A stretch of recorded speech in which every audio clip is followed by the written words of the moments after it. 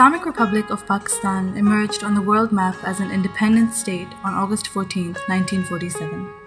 However, this region has been a melting pot of civilizations for thousands of years, which is reflected in its society being multi ethnic, multilingual, and multi religion, thus presenting a mosaic of diverse cultural scene in the country. With approximately 200 million people, Pakistan is the sixth largest country in the world. Pakistan is a land of splendors from coastal beaches, lagoons, and mangrove swamps in the south to sandy deserts, desolate plateaus, fertile plains, dissected upland in the middle, and high mountains with beautiful valleys, snow covered peaks, and eternal glaciers in the north. Pakistan of today is a strong, vibrant nation, richly endowed with human and natural resources. It is strategically located at the crossroads of three vital regions of the world. The founder of Pakistan, Quaid-e-Azam Muhammad Ali Jinnah, in February 1948 had envisioned Pakistan's foreign policy to be one of peace with all and enmity with none. The Foreign Service of Pakistan consists of civil servants who represent Pakistan at the international stage. The service is as old as the country itself. The Foreign Office, then known as Ministry of External Affairs, started functioning on 15th August 1947 at Mohatta Palace in Karachi.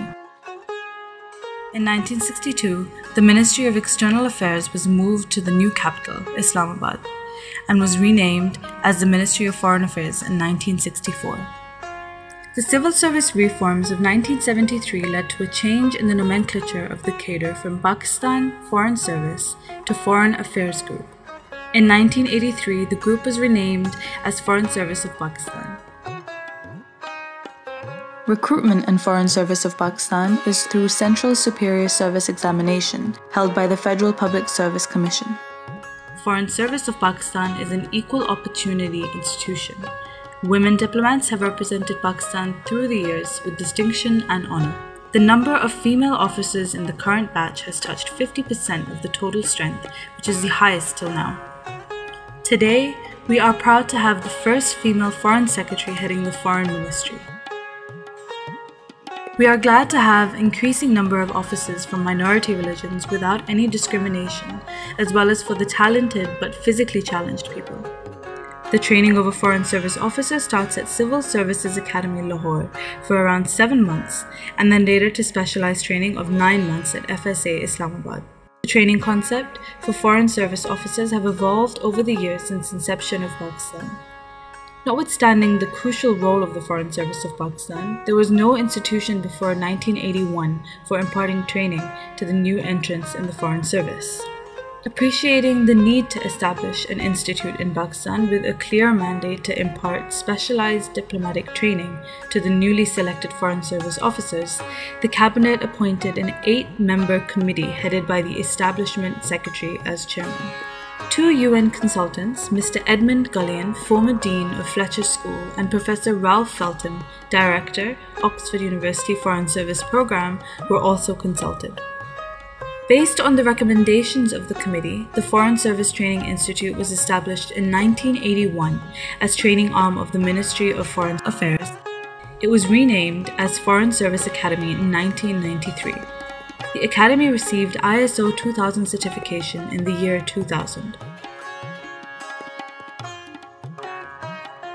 The objectives of Foreign Service Academy include training new entrants into the Foreign Service of Pakistan and also to prepare them for successfully clearing the final passing out examination conducted by the Federal Public Service Commission.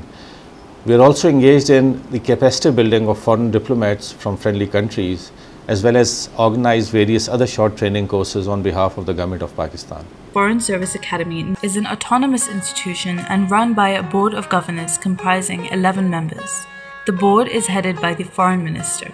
The Academy is headed by the Director General, who is assisted by Director Program and Director Administration.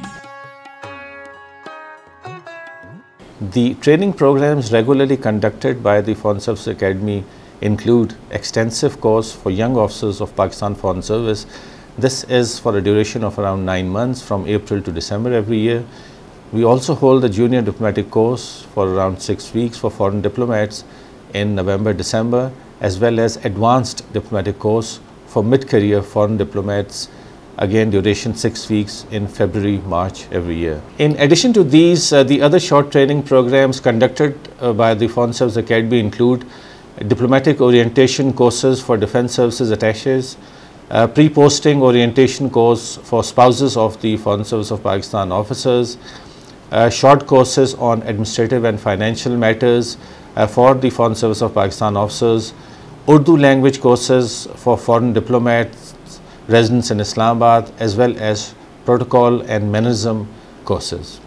Specialized Diplomatic Course is a nine month long extensive course for the entry level officers of Foreign Service of Pakistan. The objectives of the course are inculcation of diplomatic general and specialized knowledge, building knowledge base as well as developing professional skills of the participants to meet the complex challenges of diplomacy, preparing professional diplomats with well-rounded personality with keen sense of political analysis and judgment for a lifetime career, developing better understanding of various key national institutions and Pakistan's diverse cultural landscape. The course curriculum offers diplomatic theory, practice and protocol, international politics, international economics, international organizations, international law, Pakistan's foreign policy and external relations, Pakistan's foreign trade, and human resource development. In addition, professional skills development and study tours to various regions of Pakistan as well as important national institutions are part of the program. So far, 596 Pakistani diplomats and 136 foreign diplomats from 58 countries have attended various specialized diplomatic courses with their Pakistani counterparts at the Academy. In the first place, it uh, trains a lot of Pakistani diplomats, in fact, all of Pakistani diplomats. But more importantly, what we have been doing is training foreign diplomats as well. And the importance of that lies in the fact that these diplomats who come at a junior level and at a middle level later on become permanent friends of Pakistan. Junior Diplomatic Course for Foreign Diplomats is a six week long course usually held in the last quarter of the year. So far, 24 courses have been held in which 628 foreign diplomats from 87 countries have participated. In the future, I will do something and contribute to uh, our Sino-Pakistan uh, relationship. Pak Chin, Dustin Chindabad. My overall experience in Pakistan has been very uh, professionally and personally enriching. Pakistanis have been uh, very um, nice with us and it has been a very very interesting experience I would really recommend to other young diplomats. The institution has taken us to so many cities. We have been to Lahore, Sialkot, Taxila, uh, Salt Mine, Karachi, Muzaffarabad, Murree, which I enjoy uh, very much. Advanced Diplomatic Course for foreign diplomats is also a six week long course meant for the mid career diplomats, usually held in February to March each year. So far, 25 advanced courses have been held in which 513 foreign diplomats from 85 countries have participated. It's a real unique experience to be here, to discover new people, new culture, and of course, uh, as I'm in, uh, in front of uh, Belarus-Pakistani relations, for me it's really very important. The experience here, for the time being, has been very pleasant. Um, it's different from one might expect and in a very positive way. I'm also very impressed from the Pakistani cultural uh, heritage. We are here together sharing ideas, sharing experience and working for a better future. After talking to the people, friendly people, uh, respectful people, I can only say that I would want to stay in Pakistan, open a mission in Pakistan, and I'm going with that uh, mentality and with that feeling of informing and telling my Prime Minister, my Foreign Minister, of how important it is for us to open up a mission in this country. With a view to provide a glimpse of our rich cultural and musical heritage, cultural nights are organized at the start of the training courses.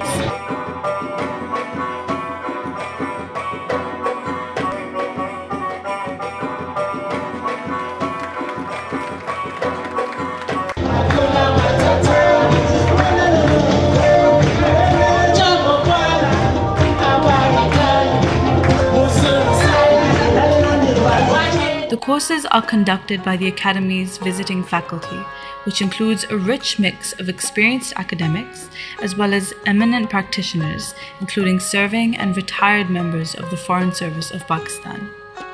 Foreign experts specializing in courses taught at FSA are also invited on a regular basis. In addition, resident foreign ambassadors are also invited to speak on important topics of relevance. The standard of teaching and outreach in Foreign Service Academy has been growing with a much bigger pool of uh, guest speakers and uh, faculty members. So we are proud in the Foreign Office about the Foreign Service Academy and its achievements. Over the years, the Foreign Service Academy has trained over 2,550 national and international participants in various courses, out of which 1,301 are Pakistani participants belonging to various ministries and divisions. The Academy is proud of its global outreach. We view our foreign trainees also as ambassadors of Pakistan, as also for Pakistan and the rest of the world of their respective countries. The caucus of these ambassadors, our international alumni, has grown in number over the years and is today 1,277 strong from 101 countries of the world, belonging to foreign services ranging from Africa to the Middle East and from Central Asia to Latin America and Europe. Today we have over a thousand diplomats, men and women, young and old, who have spent time in Pakistan and have gone back as friends and well-wishers of the country. We want to encourage the, foreign, the Ministry of Foreign Affairs and the Foreign Service Academy to not only continue with this most laudable initiative, but to further enhance and expand the scope of this program. As part of its public diplomacy outreach, the Academy maintains very active engagement with a number of national as well as international diplomatic and security institutions, think tanks, UN agencies based in Pakistan, resident embassies of friendly countries, and other government organizations. Visits to and from these institutions are a regular feature of our engagements.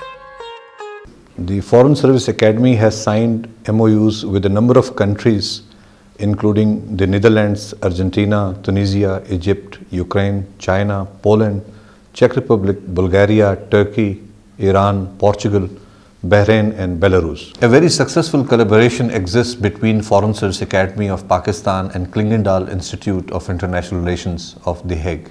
The short training is helping the young diplomats increase their understanding of current international affairs and developing their talents in diplomacy. Foreign Service Academy is equipped with a well-equipped library with over 10,000 books, CDs, magazines, newspapers, and newsletters, alongside access to HEC Digital Library.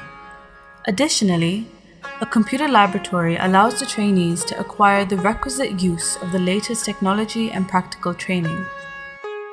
Moreover, a conference room, academy auditorium, lecture rooms equipped with audio-visual aids, and other facilities.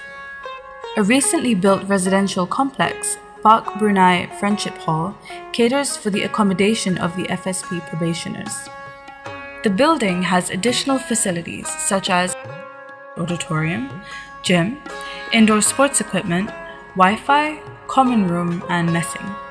We at the Foreign Service Academy are rightly proud of our past achievements and are fully geared to prepare our trainees, both from Pakistan and friendly countries, for the complex 21st century diplomacy.